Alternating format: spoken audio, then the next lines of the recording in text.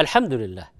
من شروط تكبيرة الإحرام أن يكبر وهو قائم من أول همزة الله إلى نهاية الراء أكبر لابد هؤلاء الذين يندفعون ويأتون مستعجلين والإمام راكع كثير منهم يكبر هكذا الله أكبر.